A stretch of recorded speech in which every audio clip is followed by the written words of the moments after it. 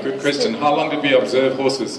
Um, the answer is that the whole team, uh, the, the, the, the puppet team, which is usually 12 people in any one production, gets a total immersion in horses. Um, we go to visit horses at farms. Um, we, if there are any military horses, we, we go to visit them.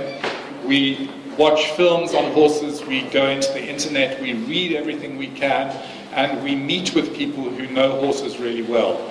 Um, it's a two-week training period before the start of rehearsals. So it's just for the puppeteers, just for the horse manipulators, and it's very intense during that time they really become uh, fully conversant with what it is to be a horse, because that's really what they need to find out. What is it to be a horse? Uh, to be a herd animal, to be a flight animal, to be an animal with vision on two sides of its head and not in the front.